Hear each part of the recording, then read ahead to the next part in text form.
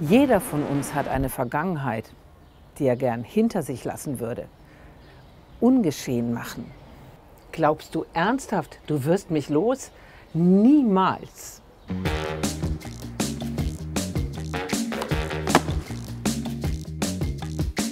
Der Russe ist einer, der Birken liebt, von Olga Grjasnowa, ist die humorvolle und zutiefst tragische Geschichte von Mascha, Mitte 20, die als Kind aus der ehemaligen Sowjetunion nach Deutschland gekommen ist und die mit den Vorurteilen, die ihr begegnen, auch spielt.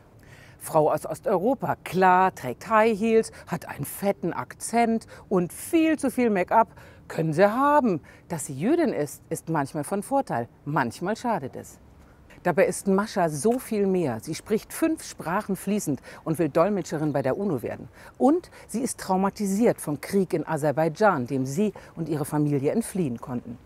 Ihr Freund Elias versucht sie zu verstehen, durchzudringen hinter ihre Fassade. Als er unerwartet stirbt, verliert sie vollends allen Halt.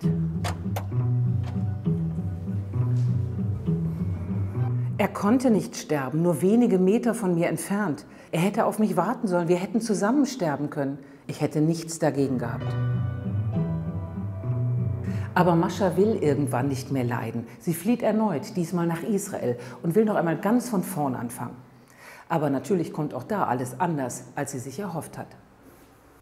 Olga Grjasnowa kennt die Orte und Geschichten, über die sie schreibt. Sie selbst kam als Zwölfjährige nach Deutschland und hat einige Zeit in Israel gelebt. Der Roman ist voller scharfsinniger Beobachtungen, das aufregende Porträt einer Generation.